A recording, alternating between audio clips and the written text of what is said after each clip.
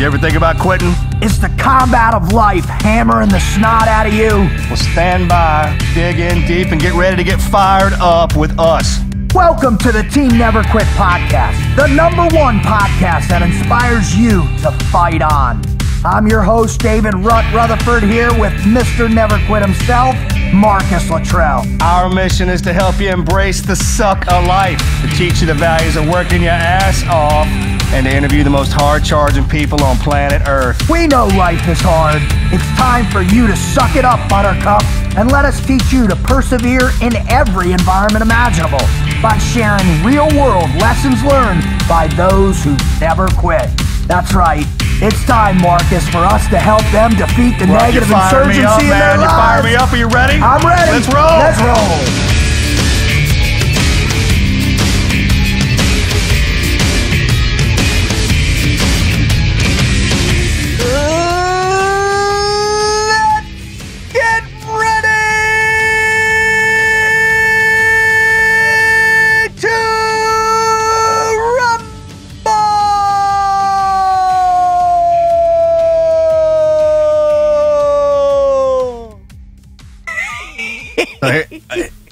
Good one, right?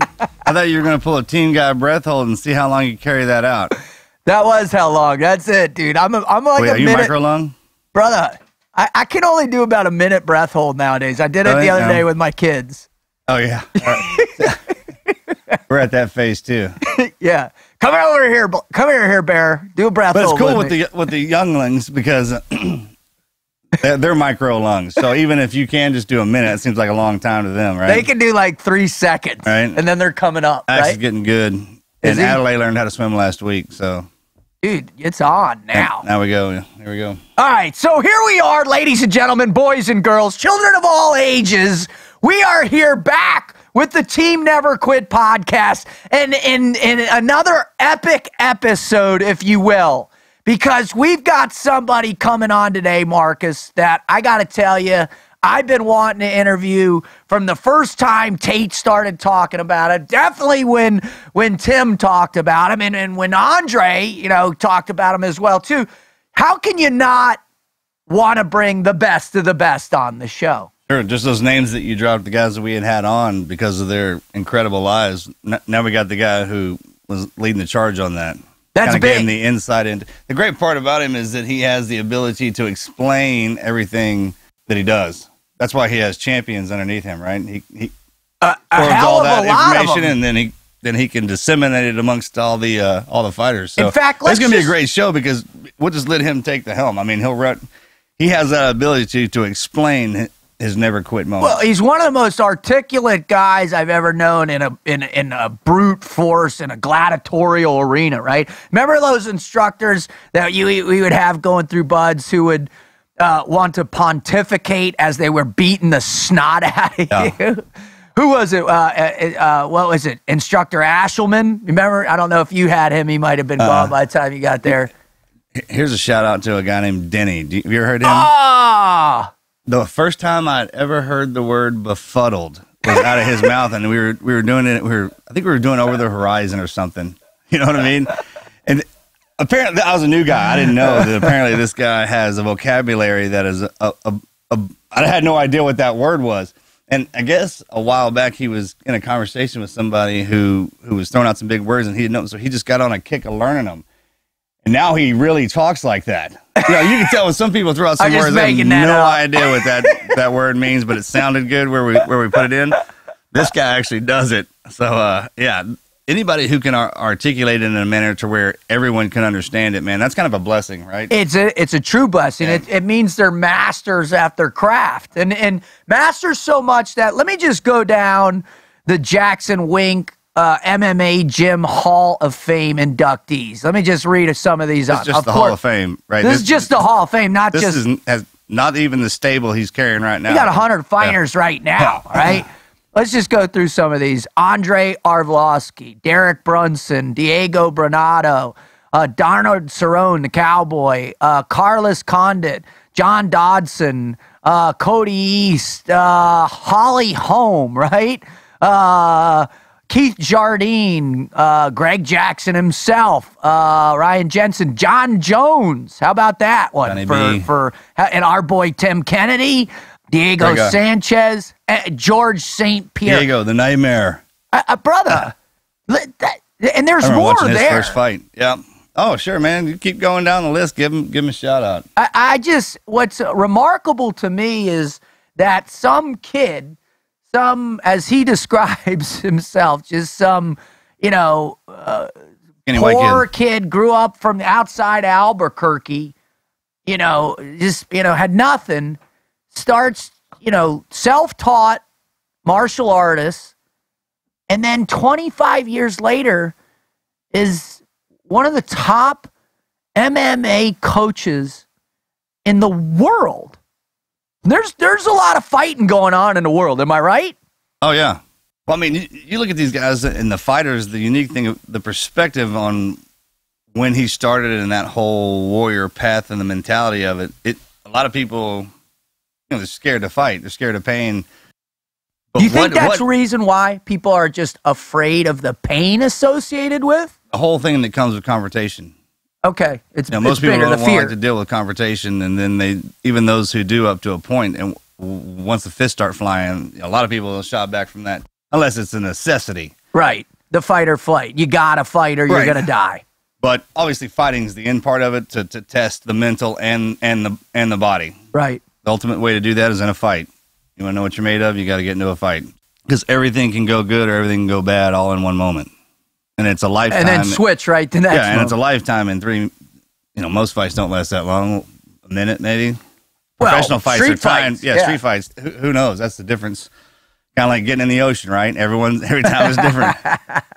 but that was my fight, greatest fight. right, anybody listening to this, even if you're a martial artist or fighter, it doesn't matter, man. You're gonna you'll be able to take something away from this because it's the ultimate. It's it's the pinnacle of combining the mind and the body, being able to walk down that ramp into a fight. the spirit too, for Yeah, sure. My body's for sure. Sorry. Yeah. Well, and listen, if this is your first time, well, actually, for all of our listeners, welcome back to the Team Never Quit podcast. We, Marcus and I, and the Wizard here, we feel very blessed uh, of your commitment to us and what you've enabled us to do. Uh, again, you know, we had just an amazing year last year. In six months, we became one of iTunes pot, top podcasts of the whole year, all, every podcast that they have out there. So we're incredibly honored I for still that. think that might have been a typo. well, you ought to call I mean, some of your friends over right? at I Apple and what a blessing. ask them. believe.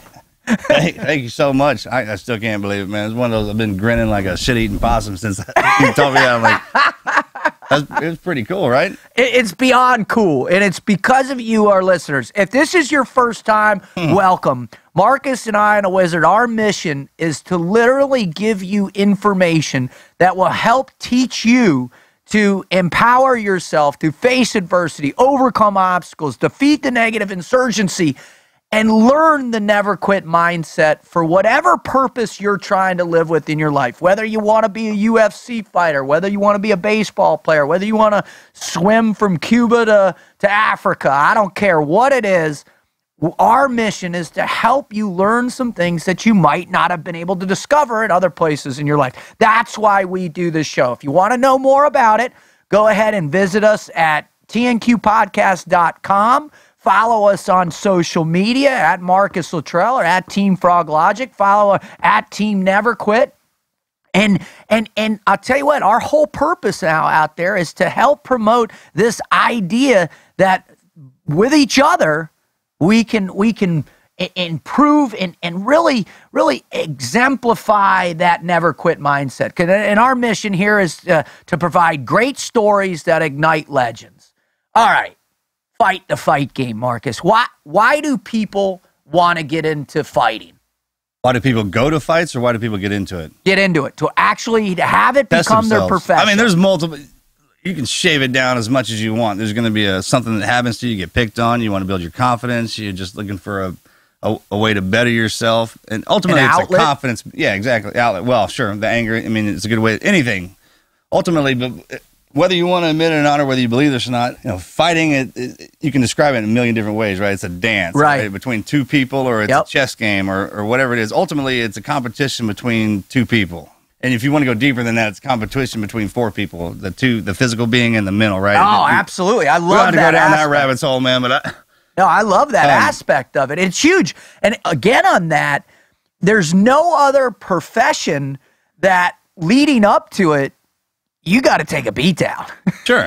I mean, it takes some yeah, some pain and some pressure, but it's it's the ultimate test, and and what it lets you basically what it does is it reminds you that you're human, and Oh, and, and anybody across from you is too.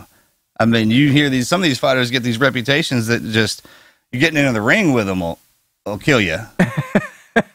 and to overcome that, I mean, you especially if you're the underdog coming in and and you listen. Everyone, the thing about a fight, man, is people know what's going to go down. And then you have all those outside pressures, what you're hearing about this guy, what he's going to do to you. And if you got somebody who can really talk the game, the mental, I mean, Conor McGregor. epic. Yeah, Colin, uh, Muhammad Ali. I mean, just go down the line, dude. If they've already beat you in your head, stay, I mean, it's over. Right. I mean, it's just over. I mean, and that's what I like about the fight game in particular for me. For for us, you know, in the in the teams, I think it's different, right? Where there's so much more going on than just, you know, the individual engagement with the other enemy force, right? We have all the other components Oh, of the mission well, objective. Well, we, we're kill, you know, we're we kill people. We're killers, man. Let's take it further, right? You normally in a fight, the, it's the test of how far you can take it and the kind of the duality of man before you end it. Now you're right? talking. And that's how the respect is built uh, between two people. I mean, there is.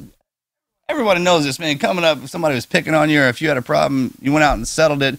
You either settled it and it was over, you didn't talk anymore. Most of the time, you you were buddied up, right? You got that respect, whatever it is. You're not and why that is that way when you know you're young everything Right. you don't know right and it's that te- i don't care how many ways you try and avoid the situation when boys are growing up and their testosterone's flowing i mean that's why we have sports right football and stuff Anything, all yep. anything to do besides throwing these uh the but- place to put all yeah, that the, energy. A lot of the younger generation, man, the, the kids who are in the game, and they go into killing themselves before they'll fight.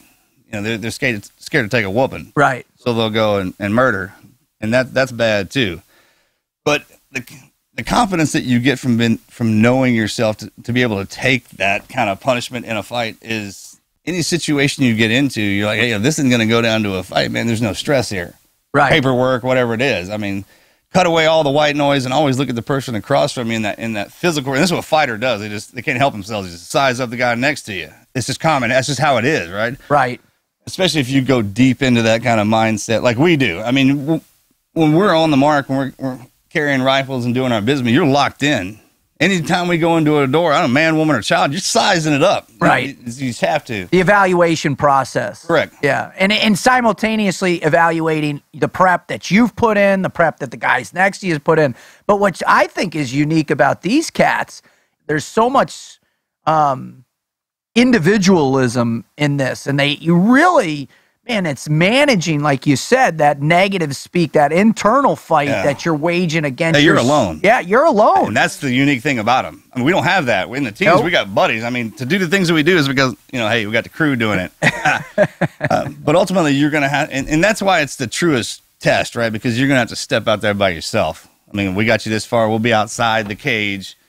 Screaming, yeah, Yeah, no, you job." can do it. Get and, up. and and the walk is just that's the that's the biggest thing. Once that first punch is, everyone knows that. Man, once you get hit in the face, you know, all, you know, all bets are off. Right, and it- right. it's go time. You your body and you you're ready for it. All the nerves and all that stuff goes away. Well, I'll tell you what, I you know I had an incredible opportunity working with a, a UFC fighter in the past to help him with just that that walk into the ring and and one of the things I learned by just that limited amount of exposure and why I have such profound respect for Greg Jackson who does it on a whole nother I mean the guys in the atmosphere is is really the the the the the, the requirement to to not allow that person to be so introspective and so trapped in their own perception to have to constantly pull them out, keep them focused on their game plan, their mission, their fight plan, all this as all of the madness is happening so that when they do cross that threshold clarity comes to them, right? And Right. the purpose for every bruised shin, for every broken knuckle, for every broken rib, for every exhausted muscle or or fatigue, you know, the eating, just the eating and cutting weight and all that madness that these fighters have to ensue. Oh, What's a life? The lifestyle, Lifestyle, it's yeah, man. comprehensive. That it it's worth it. That that summarizes their whole existence. Stuff, ain't it? Those guys who live in that life, that they're uh, that all their hard work and pain comes down to a few minutes. That's not how it is for us, right? No, I mean, you no, know, it's it, yeah, it's it's it's different. and it's tougher. It, look, that's the hard. That's an extremely great point, man. The fighter mentality is, hey, look, I okay, I won. It's over. Well, I got to start all over, just like we do. We get back from deployment, you got to start all over again Right for away. the next guy. And you're, it's not one of the deals you get to the top and everything's gravy, right? You can take a break and just wait for the dudes to come up, man. You got to go back in there and get pounded. Uh, you know, that The belt pain. represents everything behind that was behind that. And, and I'm really looking forward and hoping that Greg Jackson, our guest coming on here in just a second, is going to share that with us, right? Sure. Ha- ha- the, the idea that it's not about the pinnacle, it's not about raising, yes, to a certain degree, raising your arms, the belt over your head, but then it's the journey to get there. And I and I'm I'm really think that this guy is going to be able to shed some light on this for our listeners. I mean, this guy is is the best, man. Sure. I mean, he just like we said, every fighter is an indi- individual. I mean, they look differently. So he has, in their eyes, I'm sure each fighter looks at him differently. He has to be able to rotate from each guy to each guy. They have their own personalities and the way they train. So he's got to be able to mark up for each one of those. Yeah. And then every pressure that comes with each one of those fighters and the emotion, right? Especially because you got Oh, guys winning and and losing. So you got to be able to mentally deal with uh, one of your fighters who just got beat and then mentally deal with one of them who just won. Yeah, at the Hey, same man, time. I'm sorry you lost, but this boy won. Hold on. You can't do that. um, and, you know, but it's a fight. That's it. Living in that world, it changes. As the keeps- coach, yeah, he's in sharp, the right? fight to, to, to connect with those fighters and keep them going. And he has to know the other fighters. Oh yeah, I, I, I, I tell you what, just Crazy that that even works, right? There's so much dynamic into doing what they do. when in fact it's what what we say. We it's been the most core component of human existence since we started Yeah. walking upright. Right. Yeah.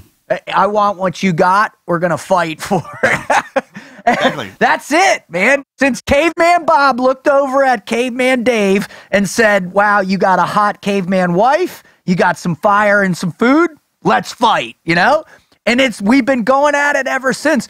This guy has just taken it into this professional arena where he is the pinnacle of pinnacle. He is the coach of coaches. He's the John Wooden of, of MMA fight, fighting coaches. And that's why I cannot wait to get this cat on the show. What do you say, brother? Let's get Mr. Greg Jackson.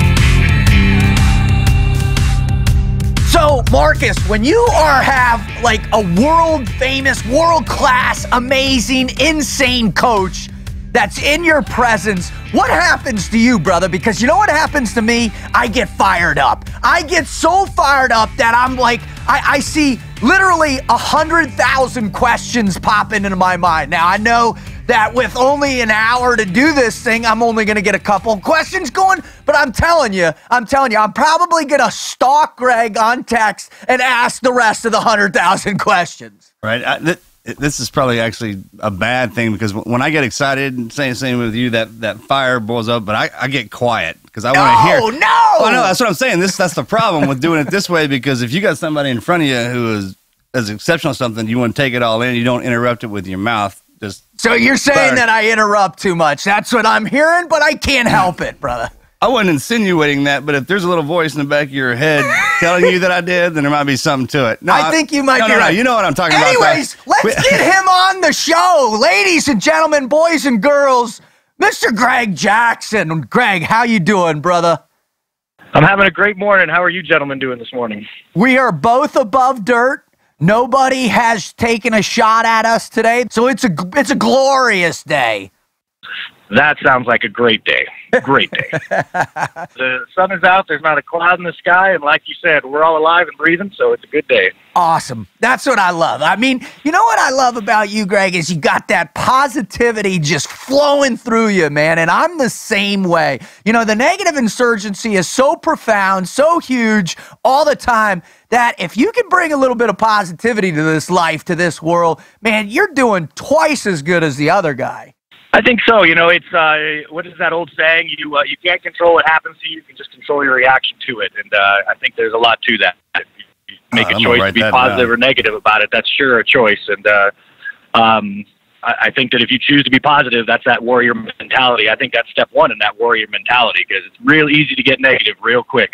And we all know the salty guys that have had a lot of stuff go down and they're salty. And then there's some guys that don't let that happen, and that's that's pretty cool. Yeah, I, I I think you're you're spot on. All right, all right. Now I know everybody wants to jump right into what your greatest never quit story is and all that, but before we do that, Greg, we've got to take you down this rabbit hole that we call the Mad Minute. Now, in in in the special operations world or the intelligence world, when you are working with somebody and you put a Mad Minute on them, you're gaining rapid critical intel that makes the difference between life and death.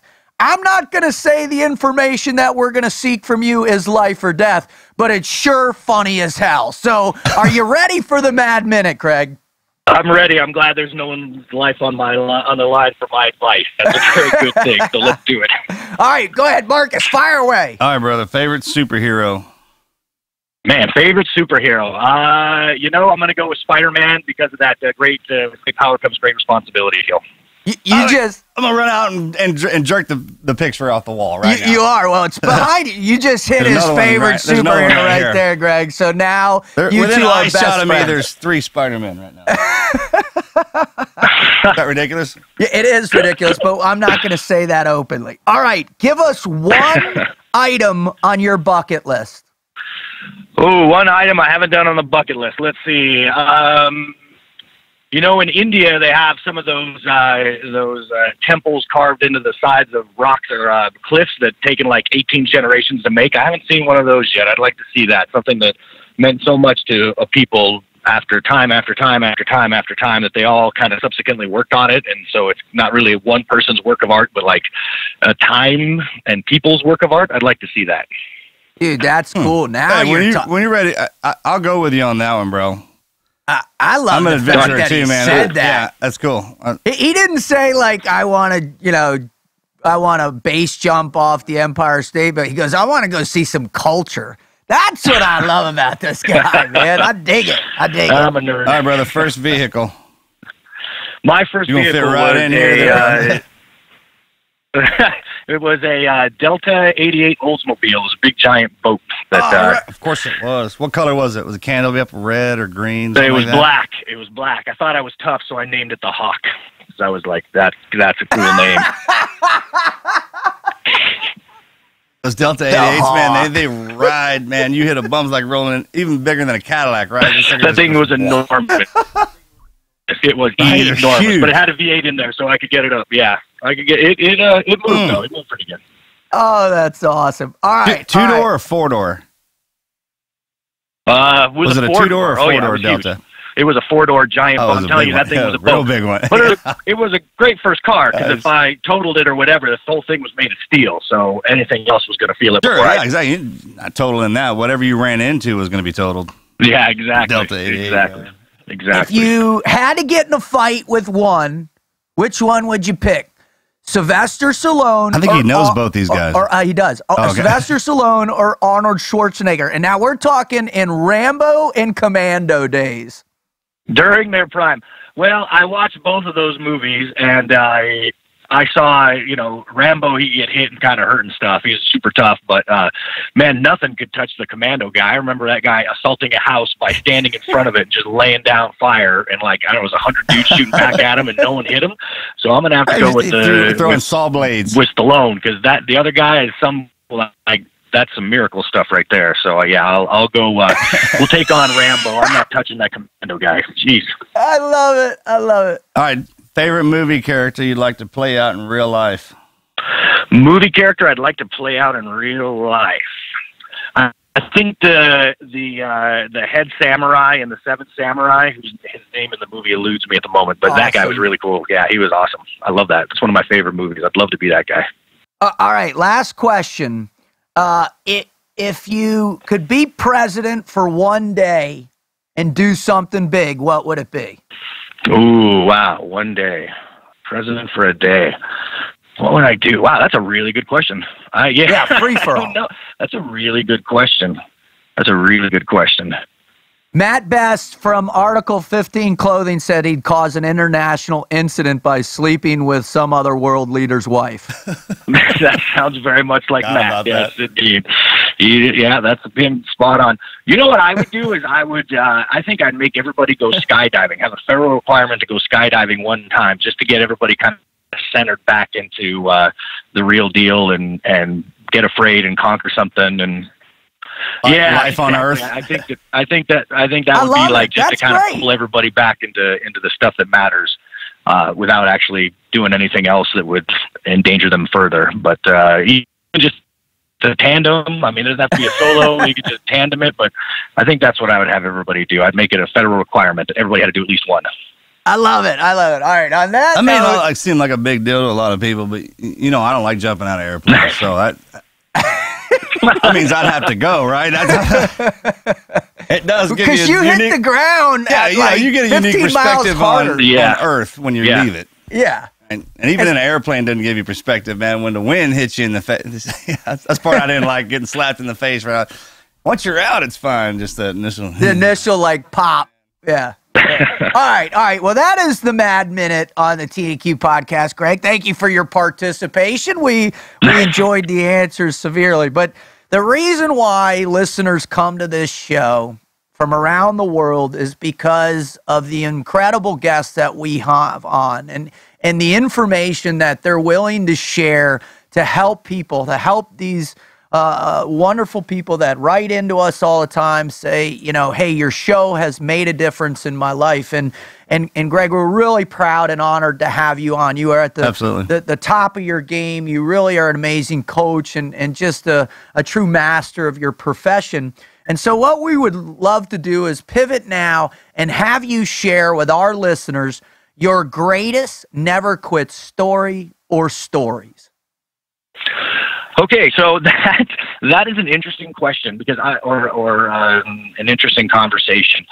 I think that we all, anybody in kind of our lifestyle, in, in that kind of, uh, be it gladiatorial uh, or, uh, you know, special operator, whatever, even military, infantry, whatever, anybody that's kind of that, that uh, I like to call it the alpha lifestyle. I think there's something in you or in your past that defines that, right? So we all have stories. We've all got stuff that, that, uh, uh, you know, that that kind of comes at us. Life comes at us. So I guess what my thing is is I don't have one story. I mean, I have my story, right? I was raised a skinny white kid in the South Valley of Albuquerque, New Mexico. I was pretty much the only white kid in the whole school, and and that's what started me on my path. But I think everybody's mm-hmm. got a story like that. I think the important thing is to look at kind of the underlying structure of what makes some people different. Their story's different because there's a lot of people that don't have a success story when you have all these odds kind of stacked against you early on. And I was just, it's funny that we brought this up. I was just thinking the other day, it really isn't about not quitting. I mean, sometimes it is, right? Like you get that, you're in any kind of a fight and there's that door and you can kind of just step out of that door and, and, uh, and you're out of the fight and, and, and there, that's always available Right. to you but I don't think that's what makes success. I mean, sometimes it does. Obviously, sometimes you make it and, and, and you're successful and stuff, but I think consistently, and for situations, obviously that works, but consistently, if you, if you have this part of life come at you and that part of life comes at you, because it's not just about one challenge that you face, right? So you grow up hard, you grow up mean, whatever it is, or, or you grow up fine and then you go through your hard mean later on, or it's both but it's pretty consistent. Like life likes to. I hope I can cuss on this show. Life likes to throw shit sandwiches at you all the time. Like that's Yeah. life's job. It wakes up in the morning and throws a shit sandwich, and there's nobody that has it perfect. Um, so for me, my thing has always been. It, it, it, the never quit story is great, and there's times where like just not quitting is victory. But consistently, I think it's being able to thrive where others suffer. I, I think that's the big a, a big deal of, of success is is Awesome. That is just being able to say, you know what, and we were like talking about it earlier, that positivity. You don't have to be super positive all the time, I don't think, but you definitely have to have that ability to thrive where others are having, you know, stumbling and having a hard time. Um, and I think that's that, what I always call that warrior mentality. So you mm-hmm. can have any story, anything that happens to you, no matter what. And, and then you have to deal with the aftermath of that and, and the next thing that comes at you in the aftermath of that. But that, that warrior mentality, I think, always has to stay the same to be able to thrive where any other person put in that situation you know, they wouldn't thrive. They would have a hard time with it. They would, you know, do this, they would do that. But to see people rise from that to thrive, I think that's who inspires us. So maybe the goal should be not quitting as, as a base, but if you really want to be consistent about it, at least in my opinion, what do I know about anything? It, it is actually trying to thrive in those environments, in environments where only somebody insane would thrive there. But that's the warrior mentality. Is is, and it doesn't necessarily have to be like you know in a firefight or a fist fight or whatever. It can be however life comes at you, or you know uh, the before and afters of those things. Um, all the things that nobody thinks about. Uh, I, I think that if you if you have that mentality, if you're like you know what. No, I'm going to do better than everybody, anybody has ever done in this position. It, just coming at it that way, I think so important. If you don't have that, it's so easy to do. You just make that decision. Like I think people read a lot of self help books and they read a lot of this stuff and that stuff, like looking for those answers. But the answers is just an easy decision. You just say, no, I'm going to do this. And even if it doesn't work out right away, you just keep at it, you keep at it, you keep trying to thrive when everybody else expects you to suffer. I guess that would be my my never quit philosophy. Well, it, it, it's really interesting that you go towards the warrior mentality, and it, and it has it's relative to consistency, right?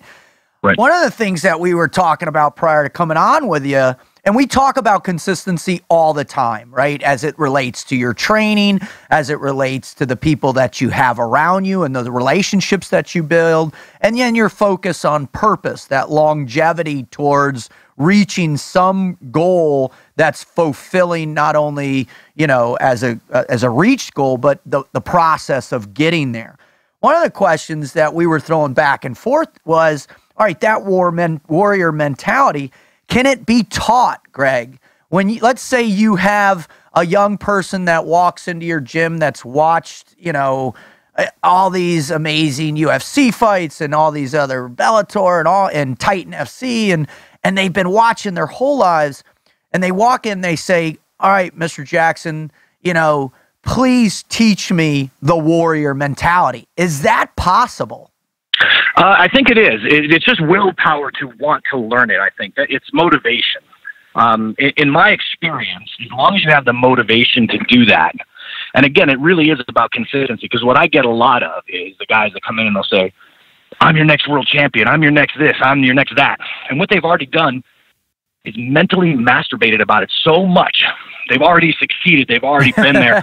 they don't think about the process. They're thinking about, oh, this is what it's going to feel like when I'm the champion of the world. And this is, you know, I've watched the movies. And so it's just this like success masturbation that happens over and over and over, which is different than, for me than visualization. And then they, oh. they'll like, they go hard for a week or two. They figure out that, man, getting punched in the face every day is really difficult this hurts. This isn't like the movies. This isn't what I thought it would be. And then, you know, off they go. And the next little group comes in and says, I'm going to be the next world champion. So that mentality is different, I think, than actually wanting to be a warrior. The warrior is like, well, success is going to come if I take care of everything else. And, and when I see people like that, that are just worried about training, acquiring knowledge, pushing hard. I say, well, this that mentality, I think you can teach the warrior process too.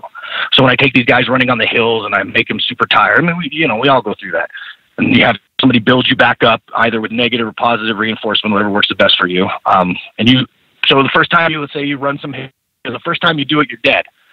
The second time you've done it before, you know what that's like. It's okay. You know, you die, you puke, whatever. It's not a big deal the third time by the by the tenth time it's pretty normal. Like oh this is what we do.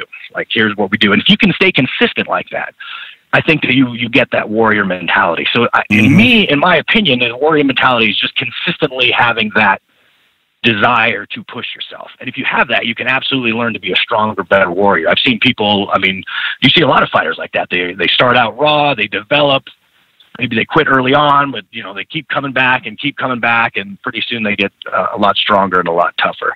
So can That's you cool. teach desire? I don't think so, but I think you can definitely teach that warrior mentality. It's just by having a good culture around you and and having a good guy that says, okay, yes, this is going to suck.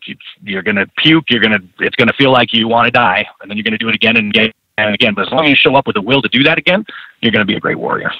Well, it's amazing that you talk about it that way because, you know, you, you talk about culture. You talk about what Marcus and I talk about all the time the acceptance of the pain, right? The process of pain, which shapes the will, the willingness to sacrifice, the willingness to be humble, the willingness to train harder. And what mm-hmm. I what I was really cool, and we, we were talking about this as well, is the culture that you guys are able to create where that success masturbation that you talk about is checked at the door you know by that wonderful you know s- s- sign you have written out on that front pillar as well as the rules that you guys adhere by you know and and and that visualization that, that that whole cultural process how do you guys keep that intact is it is it done by the success of your great fighters like Jon Jones or Andre or That's a great question because in our community we have all the guys want us to do well, and and same way in the camp, but there can only be one champ, right? Right. So how do you how do you who who how do you keep that cultural connectivity in check and, and going and moving forward? That's actually a really good question. So um, obviously, it's a lot of maintenance from the top down, which is us down, but a lot of it also is the teammates checking the teammates. You know what I mean? If you're getting, uh, uh, Sure. if you're getting, you know, this, if everybody's going to look down on you because you got hit with a body shot and you couldn't continue, you, you that's fine for that time. But you'll say to yourself, in order to be a part of this culture, all these guys judge me for, you know, quitting when I take a body shot. So I'm going to work to toughen my body up and my mind so that I won't quit. So that culture kind of pulls everybody up. So it's a little bit of negative, but a lot of positive too. And, and you have to have, I think, a balance of, of that, uh, negative and positive stuff. Um, but it, it, it takes a constant maintenance because if you let, you know, a few bad apples in there and, and where, okay, you know, just banging, not being intelligent, but just banging it out is okay, or you know, quitting is okay, or any of these things become the norm. I think that really ruins, at least in in our gymnasium, it it uh, it ruins the culture. So we have to be very careful of that element, and a lot of it again comes from us, but a lot of it's a teammate checking teammate kind of a deal, because like you said, you have so many things pulling you out of the process of combat. You've got pain, you've got fatigue, you've got in in, in gladiatorial fighting the pressure of being judged by others is huge because what you're you know you're fighting another uh, well prepared opponent Yeah. in front of millions of people so you have to deal with that pressure a lot um, so it, have all these things trying to pull you out of being a hunter being uh, pulling you out of, of being victorious. So training that keeping yourself in that process no matter what and then the culture you know kind of making those parameters like no when you feel this wanting to pull you out of the process you can't quit. You have to stay in that process of hunting the people down um, or your opponent down. Uh, I think is very important reinforcing because if you don't have that reinforcement, then there's no consequences to you quitting. Oh well, I just quit. You know, I had that this hard, this hurt, this hurt. It's hard, whatever. Um, I'll just I'll just quit. Um, then I think that that's uh, makes a, uh, the culture that you're trying to strive for with success. That's definitely a detriment to that. Wow. That's what makes that life so difficult is the the existentials, right? The outside influences.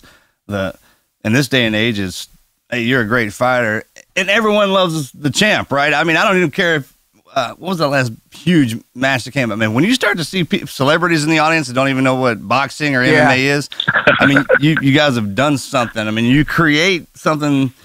Those those warriors that go into the arena that's been around long before. Long time. yeah. Everything right? Yeah. it'll, it'll, it'll always be around. The gladiators getting in there and punching it out. In this day and age with tv and everybody checking your stats and your the length of your hand and everything that come into play and telling them like man you're just not built to be a champion. All that stuff that that would you would only usually hear in the gym right is all over the place once you step out of there and the hardest thing about getting into a fight is walking down that row Amen I mean, to that. It's You know the I mean? first I mean, five once minutes. You get in there and you get yeah. hit the first time, Yeah. man. We're fighting. That's it. It's on. All right, a chess match. But Yeah. I mean, the stones to walk down the the ramp, man. That's it's the build up before we do anything. You know what I'm talking about? It's it's just like the gravy gets caught in your throat. Everything comes into play, man. And it's the fear part, right? we always talk about, and that's when it comes You know- to your camp's so important is, is Right. cultivating that.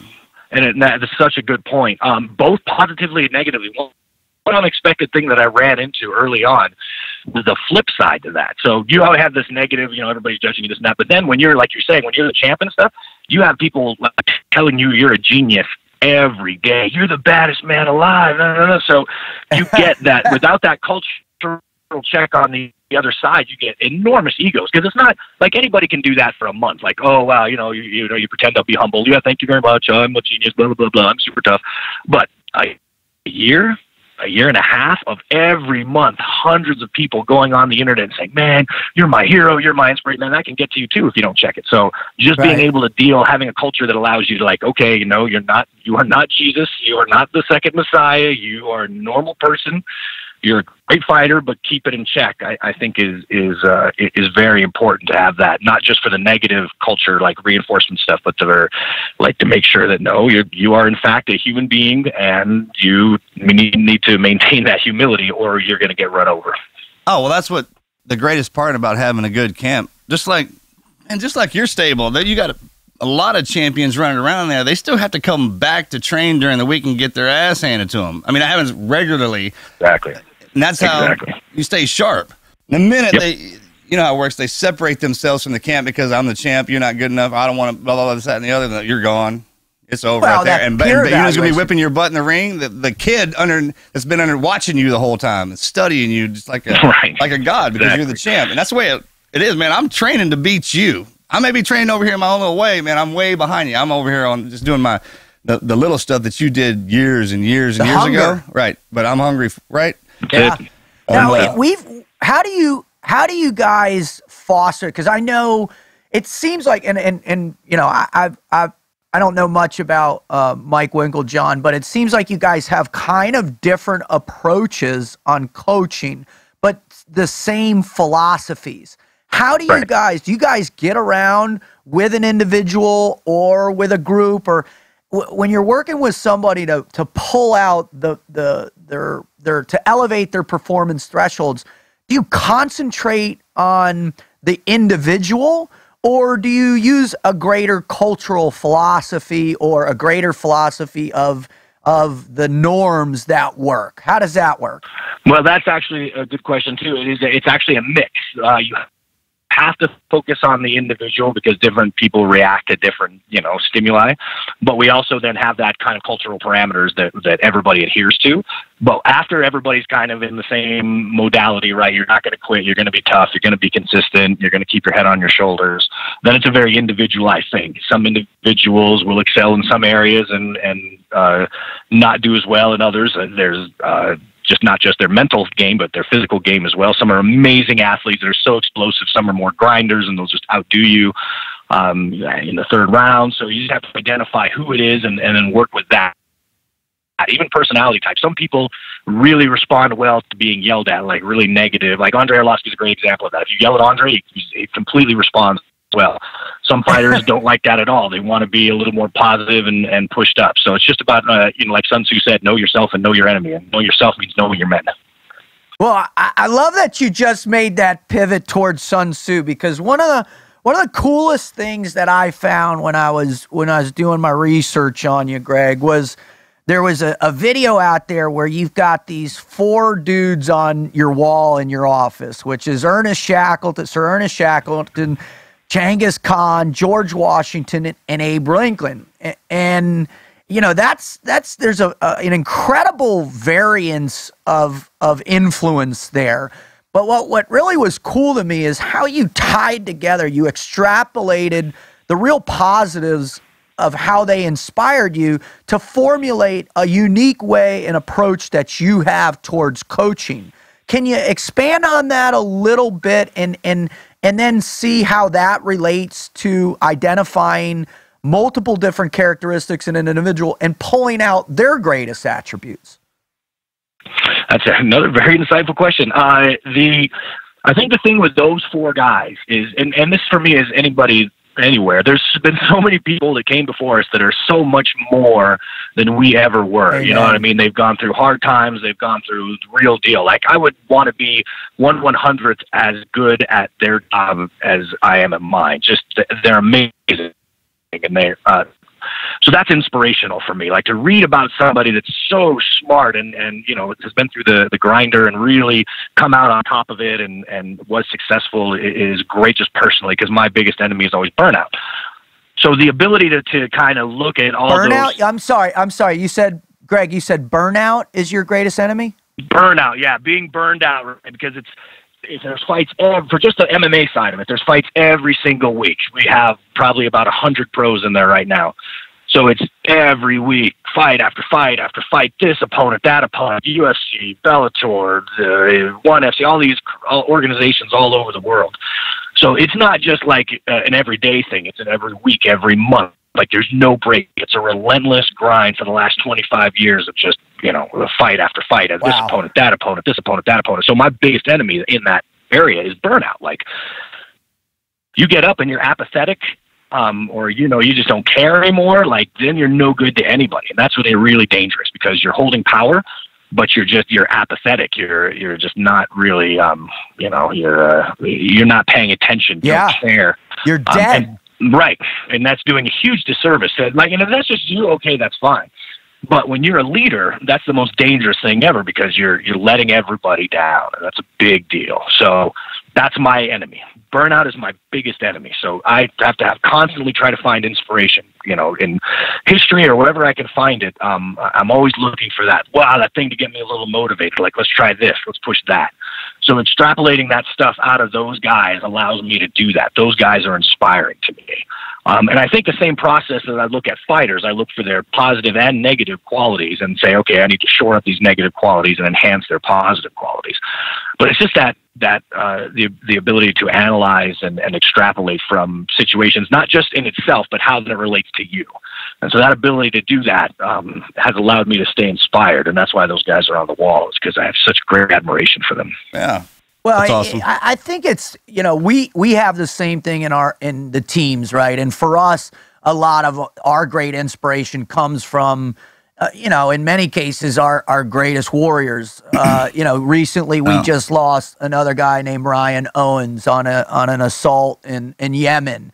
Uh, back in May, we lost a guy named Charles Keating in Syria, and and for us, you know, we have this perpetual motivation based on the existential reality of of life and death as warriors and on, on the battlefield.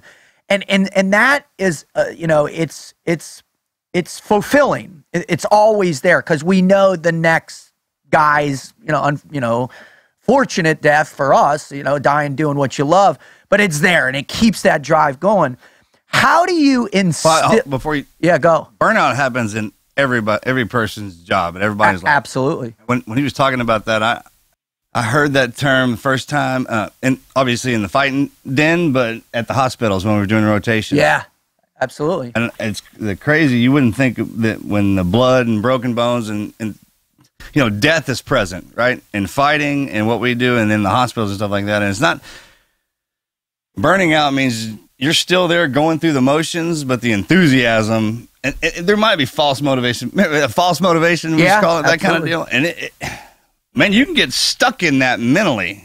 You can be in a burnout stage for a while Yep. if, if you don't know what's going on, especially if you're the head guy. That's why it's good when you get those the younger guys coming in that are hungry, man. That that reminds you of what's going down and, and the good times, and you live. Uh, a champion lives through the younger guys coming up as well. pressure. yeah, the, everything that comes Yeah. in that training them, and then if he's a true champion, when it's time to when he does get beat, he sticks around and passes it down. Just we we keep our guys in the community, and then we pay respect to them. They're on our, on our walls and they do the same thing. You talk to any fighter, he's going to say, "I got into this because of Muhammad Ali." I mean, it's usually you go back, right? Right. It's not the guy who's who's up on, on top right now. He's just Right. the mark, right? Right. He's he's what I'm looking at right now, and that's the same way it is uh, for us. You know, when we were watching all the documentaries, we knew everything from the present to where we're at, Yeah. and then all we're doing is widening the road each time. How, that's Right. a good question then. But the Greg. baseline's the same. No, you're you're you're on point right there, Marcus. Is is and Greg, how do you when you when a fighter either gets in burnout or they stop losing focus on the bitter bigger picture, which is the journey to the belt, the journey to the fight. How do you correct that? For me, it's just you need time away from whatever battlefield you're in you need a little bit of time away. You need a little bit of a break, um, which is why I'll tell fighters, you know what, you don't need to be fighting for another six months at least. You need to go home, Wow. enjoy your family, back off a little bit, and remember why you do this. You know what I mean? Like, and Tua, that's been a very successful formula because there are warriors inside. They've just been pushed too hard. There's just too long. It's it's too much. When they back off and they don't have to be there, I don't have to be there anymore. And that's the nice thing about fighters.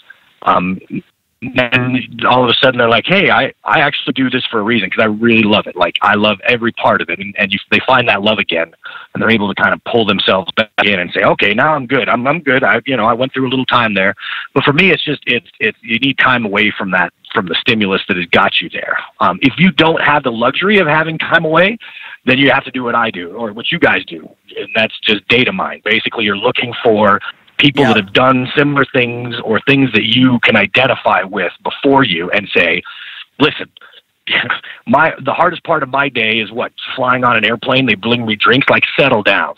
I'm not like George Washington's Revolutionary Army, like walking with blood in the snow with no shoes on. Like settled down, Jackson. I think you can handle it. So just Right. getting slapped in the face by like the real men that have been through it, and and you know what, calm yourself a little bit. I don't care how bad it is. Someone's been through worse. That that's a big deal uh, for me, for me personally. So that helps me out a lot. Just kind of keeping myself in check. Going, yeah, settle down. You got a good life. That that's cool. That's really cool. You know, those guys who thinking about this, the, the champions. There, there's a difference. So you can tell the guys who actually have that warrior path, the, the creed. That's what they are. They're a warrior and so the guy who's fighting and wants to become a champ. Because as soon as he gets the belt, I'm the champ. It, it stops right there. Right. I heard a long time. You're supposed to fight through the belt, right? You, because you Right. start the path to being a warrior in the beginning. To climb a mountain, you have to start at the bottom. Well, Right. when you become the champ, instead of thinking of it like this is where I'm, I'm at. This is I'm holding it right now. You're still climbing. The belt is a Right. stage. And what do they say? The, the person who gets his ass whipped the most is that first degree black belt. You know enough just to get your butt whipped. Right? That's right. That's Everybody, right. A lot of people get hung up on that deal because they've obtained that, and everyone. This is old school traditional martial arts, and this I remember seeing this happen. But you know they'll strap that on, then you won't see him again. I'm black belt, I'm good to go. But then you got the guys who well, there's. It's not really about the belt, right? That just holds your pants up. Yeah. It's about the teacher in front of you and the and the path, the, the way of life. Right. Absolutely. Martial artists and warriors, it's outside the gym as well as as inside. And the guys that look through the belt, like this is just a stage. I I, I passed it. Yeah, I hold it. So in everybody else's reality, I'm the champ, but in my mind, I'm looking way past that. And they set those stages in their life. And then once they obtain it, it's when you shift. You hear about the the samurai. They were they had their warrior. They were warriors, and then once they pass through that, then you go to the enlightenment where you're a out in the guard. Yeah, and then ultimately, when the the teacher is ready, the student will appear. So Right. just sitting around doing his poetry or his gardening, and then next thing you know, it's time to pass it down. That's cool. Absolutely. Well, Greg, I got a question in terms of passing that enlightenment down, right? And and and especially when guys move into the the top of their game or girls like Holly or whatever and they explode into the fame, the business, the negative insurgency I call where you know they're just being bombarded by all of this really negativity, this profound negativity. What do you do to keep them focused? What do you do to say hey this is this is the objective not all this how do you flush out the noise I think that's a, a, a process of just keeping reminding them. I mean, that's your job as a guide is to remind them of what's important, but also having a place where they can go to with like-minded people that don't really care about all that. So, uh, you know, if you're if you're on a losing streak or you're having a tough time. Everybody else in your world isn't going to understand that because they don't, they haven't lived it. So you're going to deal with why don't you retire or, you know, I'm really worried about you, you know, taking all these shots or whatever it is. Um, and, and that that's a lot of that that negativity. Then you go on the internet and you're like, you're done, you know, da, da, da, all this stuff. Like having a place where you go to and there's a bunch of other fighters around you and they don't really care about it. It's that culture we're talking about. That doesn't matter what anybody else thinks. We're here for us, and uh, they can be worried about us or they can you know do all this stuff, but these are all like-minded people that in this culture, like we just leave that on the outside. Like we're here to have a great time and cool. do what we love to do. Uh, I think that's what really combats it. Is I think if you were by yourself and alone and having all this negative stuff pushed on you, I think that's that's hard to do. You got to find, in my opinion, you have to find like-minded people. Okay, here's some more positive people, even if it's two or three of them. Here's some more positive people. We don't care about other people judging us or whatever they think that that they understand about our reality we just worry about what we're doing and let that stuff go. Because if you, I mean, if you take the old saying goes right, if you take time to bleed every little arrow shot your way, you're not going to have time for anything else but bleeding. Like you've got to get in there and, and have Amen. fun and win the fight and do all that stuff. So that those little negative barbs that that are shot at you all the time, I think those are what you just you just brush them off. You have to. But doing that by yourself is very hard. If you've got two or three guys that are in that same mentality of yeah whatever uh, that makes such a difference to me so just finding some like-minded positive people is important and especially as a fighter it's it's imperative that, that's really cool exactly we do it well every day all day in our community because it's one of those deals where it's easy to forget if you start paying attention to the white noise. Because in our community, for instance, we, we'll be sitting around in the platoon space and a guy will be like, "Man, you are a terrible shot. How did I even have?" You know. The bottom line is, you have to be an expert marksman to get into the SEAL teams, right? So you, this dude is an expert marksman. Then you got the rest of us going. Man, you're a terrible shot. Dude. I, I, I am the slowest runner probably to ever to come through the SEAL teams, right? Yes, you are and I'm probably actually I'm probably slow for civilian. We shouldn't use that analogy. But no, anyways, where I was going with that is love is blind. All right, love is blind. it, I mean, we re- you got that reinforcement yes. from our camp. Even from our guys, it's negative, right? Even when it's negative, it's a positive thing. We have completely transitioned over to a different way of thinking. It's one of those deals when people are like, uh, you know, we got a dark sense of humor. You wouldn't understand it, and they'll be like, "Well, I got a dark sense of humor." You know, tell me about it. I'm like, if I have to, I just, I just told you, man. Can't explain it to you. You yeah. get it. That kind of deal. Exactly. Because of the, we get our motivation through negative reinforcement. I mean, we transitioned over to that, and even in the fight game, you're getting your. You, I mean, you're literally getting punched in the face, and your corner's going, "Great job, you're doing what?" You know that kind of crap, man. That fires you up, man. Like, Hit me again. Obviously, coach is digging this. so, I mean, Without that, I think we, we would just fade into oblivion. You, you just you wouldn't have. You won't. You, yeah, you don't have the mental exist, capacity. Right. We we only exist with each other. Exactly.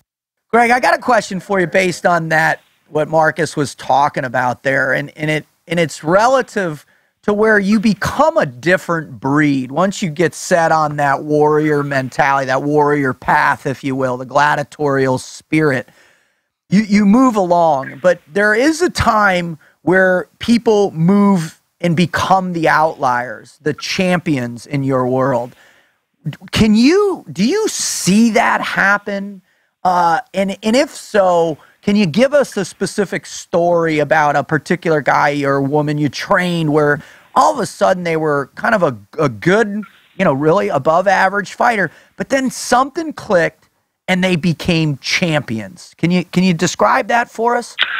Yeah, I think that's a um, that's a very interesting thing. I think that um, it, a lot of that is the mental game of just having the confidence to do it. Um, I think that people you get like look at uh, Tyron Woodley is a great example of that. Tyron's champion now. Um, he has been beaten before, you know, uh, and, and convincingly, but that never that never stopped him. And then that's what I call turning your corner. At some point, you just turn your corner. And I think what I was, and, and man, this is so you're just bringing this up. It's so funny. I was just thinking of it last week. Turning a corner seems to me to be, as I've done this over the years, a an element of fearlessness. And I don't mean like not like I, I feel no fear because obviously unless you're like a two percenter, everybody feels fear, and that's a good thing, I think. But um, it, there seems to be like it a, a a ability to just again, it's that thriving where others are suffering, where other people are suffering. Suddenly, there's just a confidence there. There's there's a um a, uh, a I, I don't want to say it's like um it's not even like false confidence. It's like I'm just gonna I know I'm gonna win. They go in there and and they're and they're so into the process and so worried about hunting the other guy down that they forget to not succeed, if that makes any sense at all. And Jon Jones is a great example of that. He'll just go in there and we give the way I coach him, we give him parameters and then just let him be creative because he's pretty fearless in the cage most of the time. Like just gets in there and he'll try stuff and you know he walks around on his hands and knees and you know crawls around and he just does weird stuff. But that's him being. You describe him as an artist. Right, right, and and he is. But that's him being comfortable. So he's fearless. If I say, you know, do a backflip off the cage, he'll be like, okay, I'll do a backflip off the cage. And so if you're able to process in that situation, process like that, where it's not that that that kind of Clausewitzian friction, that that fog of war is kind of pulling you out of being creative and hunting. Um, that seems to be to be a, a big factor, and sometimes it just takes people a while to get there. And then they've done it enough times, and they've been pretty successful most of the time where they just like, you know what, it's it's my time now, and they make this conscious decision. And then they, when I say they turn their corner, and you see them just starting to to grow and really expand. And, it, and a lot of times it happens before they're they're champions, but uh, it, it's a really cool uh, process to see. I think yeah, it's we, one of the greatest things ever. I mean, we used to see it a lot. Go ahead, bro. Call our battle rhythm. Yeah. I mean, and then it happens even just as a Navy SEAL too. I was thinking about what you were talking, bro. Uh, I remember through BUD/S, STT, all that stuff. Actually, well after the first deployment, usually like I'm yep. gonna get rid of me today. I'm not good enough to be here, kind of deal. I'm in my locker, shape, you know, making sure everything. And then I don't even know when it happened, but you get to a point to where during the workups and whatnot, instead of being nervous every phase, like when we get in the water, yeah. or, or whatever it is, back on the range, you're so comfortable. You're just you become you've become a fighter. You become a Navy. That's what that is. That's what's happened. You've actually transitioned to what it is you are. So there's no worry about you f- falling down on the job or or not doing something because it's exactly what you are. It's your baseline and it's beat down into there through blood and sweat and tears and, and your and your buddies reinforce that. I mean, they hold that ring together.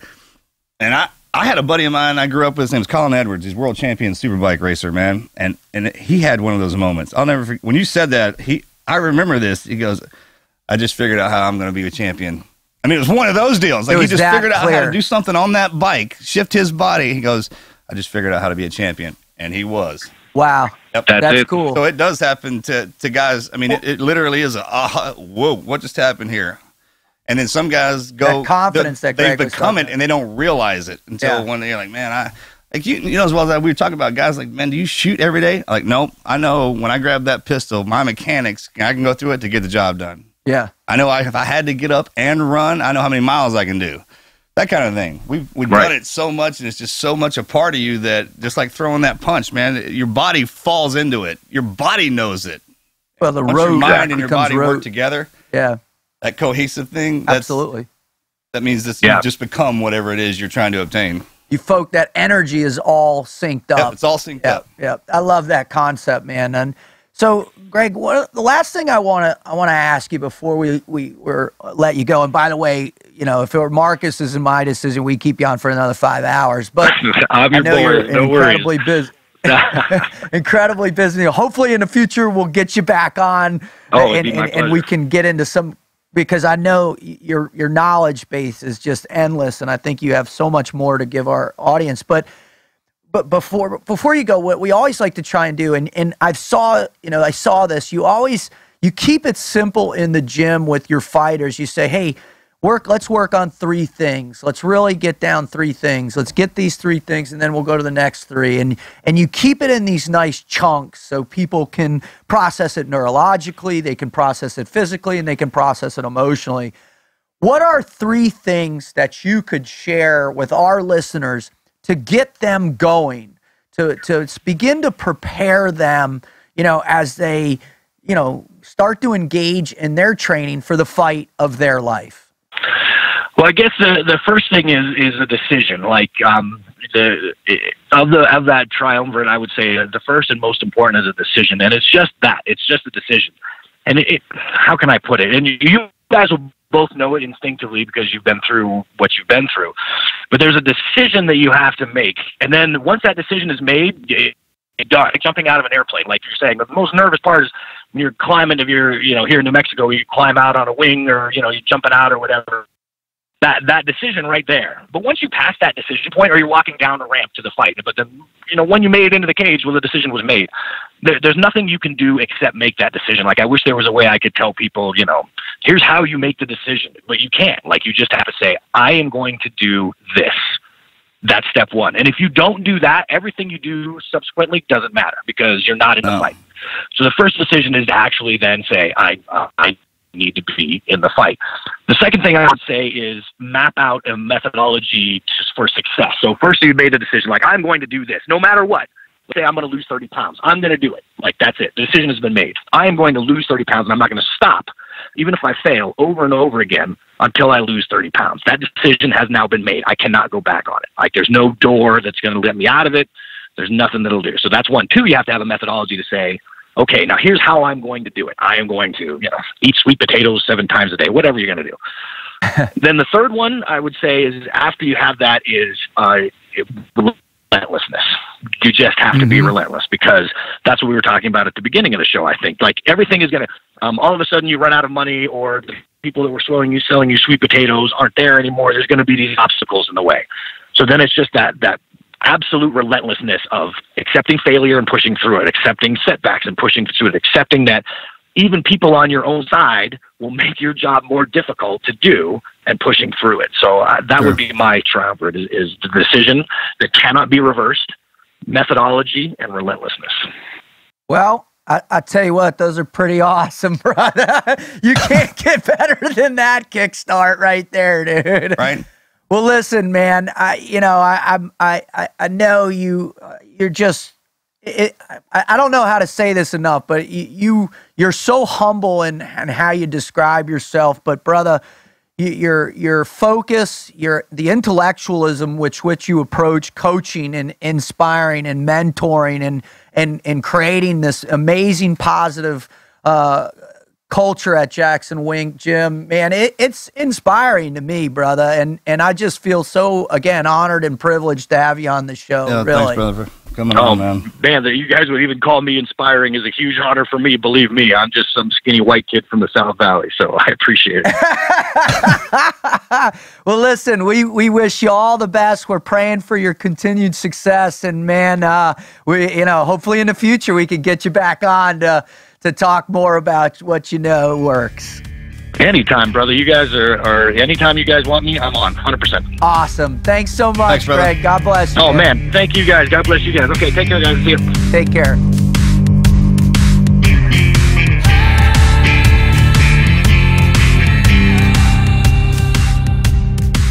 I, I told you, brother. I told you.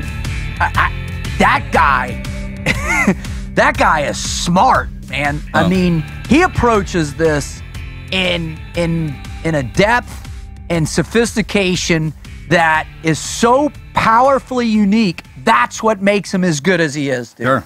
What do you think of the fighters now? So they to sit and listen to that all day and be able to do what they do. So I mean, those guys in there are sharp, smart. I mean, Well, it makes perfect sense to go back and process what Tate talked about on the show, Tate Fletcher, and to go back and listen to Tim Kennedy and Andrei Arlovski's show, and and you hear the focus that they have towards fighting and what they receive from it, what they gain from it, the power of the journey. Sure. I mean, we're getting to a point now with the people that we've had on here. That's, and my whole life, we do this anyways. You just pick those pillars out that'll guide you in a in a good direction. He's Yeah. one of those.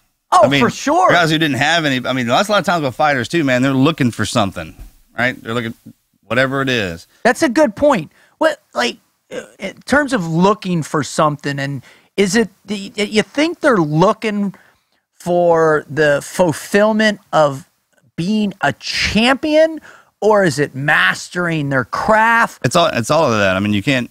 You can't Like I'm saying, when you say that that warrior path, it's in stages. Those guys who journey out to find that that man, you know that that man to guide them in, in in the direction they need to go, and you, that's when you know you found the right guy. I mean, you go in there, you start training not the right guy, then they'll leave. right. Go to another gym. Sure, Another until you find uh, you know your crew, man, and then they just start to chip away at what you're at, and then once you've reached your pinnacle there, then you'll do and then That was fascinating to me about the crew, and and you talk about that all the time. We talk about it in terms of the the peer evaluation, the peer pressure in a positive way, right? Not not the peer pressure that young kids are feel in adolescence, but that keeping the edges sharp. Yeah. So when we do plateau, and you described it as you know, you hit that, you know, you're the champion, you hold up, but guess what? You got the next guy coming, and now you got to defend the title. Yeah, I mean, it's not like any other group or camp or fraternity you're going to be in. You, you, it's literally primitive, like it's a wolf den.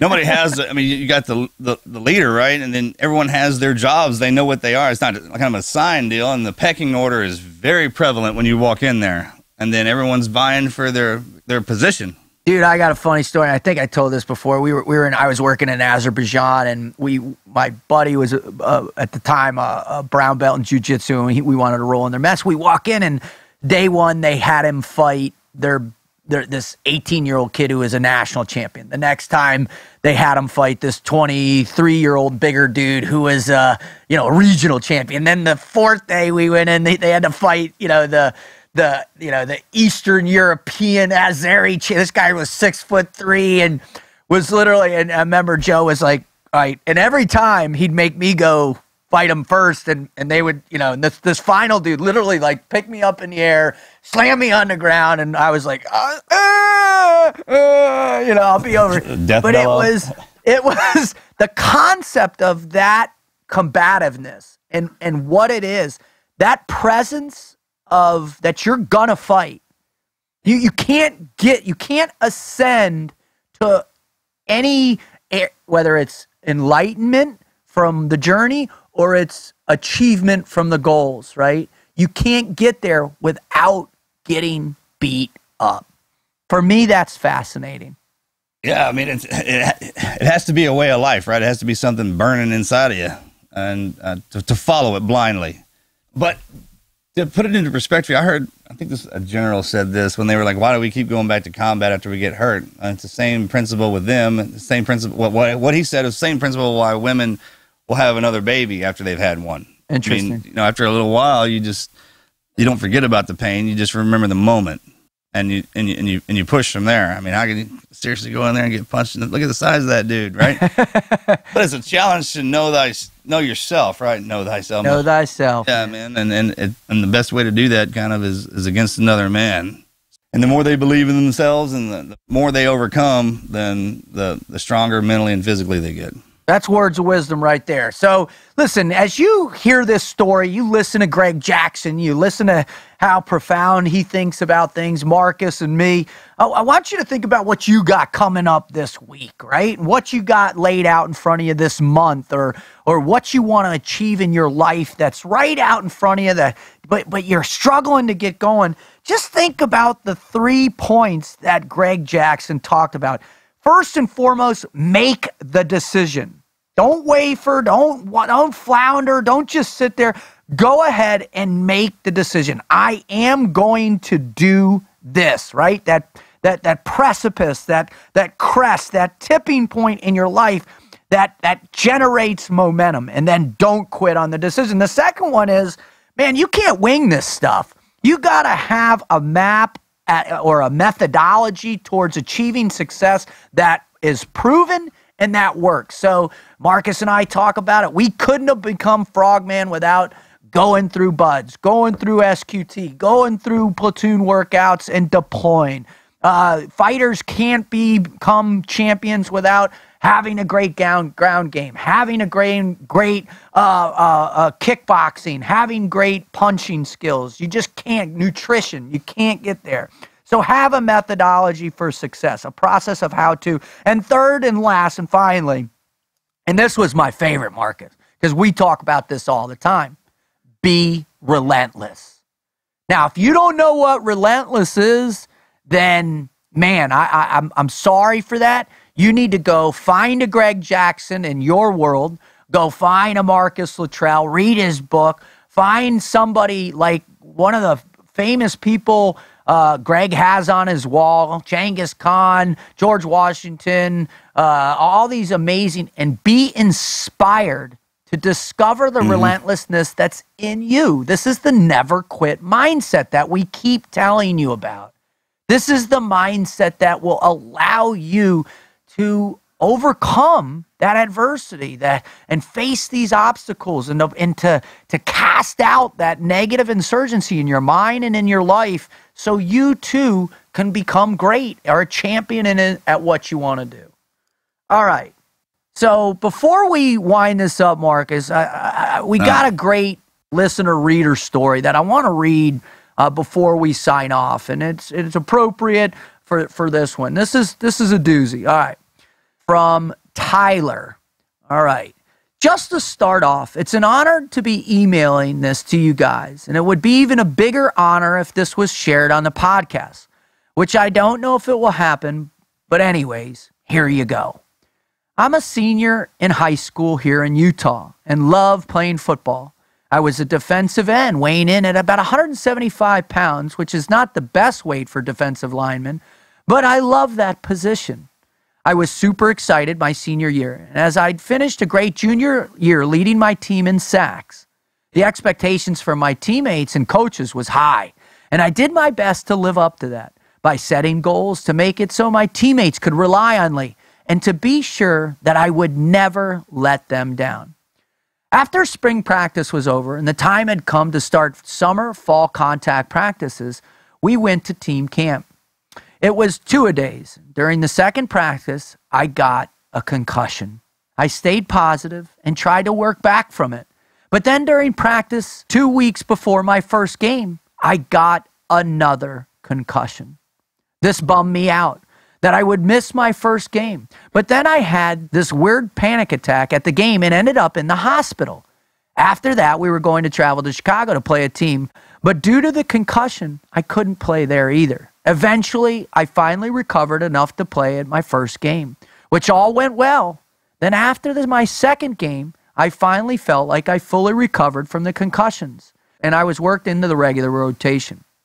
Things were going well. But during the practice of the next week, I got another concussion. I talked with my doctor and asked if I got a fourth concussion, how would that would affect my chances of achieving my goal, my ultimate goal of becoming a Navy SEAL. He said it certainly would. I had to make the decision, and unfortunately, it had to be to stop playing football. However, Fast forward to the end of the year, and I was awarded a very prestigious award in the football community for being the hardest worker and the most undaunted player. But here's the cool part a lot of parents came up to me after and thanked me. I didn't understand and asked them, Why? Why would you thank me? I don't understand what you mean. They replied by telling me how much of a role model I had been for their child and how much I had motivated them to do better. Also, the best tackle on our team came up to me and told me how much I'd help him improve and get better. He's the most recruited tackle in Utah. I guess the lesson in this is that you never know how much you're going to help someone else by never quitting. And and that's it's better to help someone else than yourself. I know for a fact I'm very motivated by Marcus and all SEALs that share their stories. Thank you to all of you for all that you do and for your service. Now, when I read that, Marcus, I, I see a young person that gets it, that understand that it's about servicing others. It's not about the self. It's about making good decisions that will impact the greater world around you. Sure. I mean, it's easy to uh, not do the right thing when you think no one's looking, right? Amen. Kind of deal. And you never, someone always is. That's the craziest part about it. It's tough to be on point 24 7 in a good Impossible. mood all the time and, and, and to have a smile, right?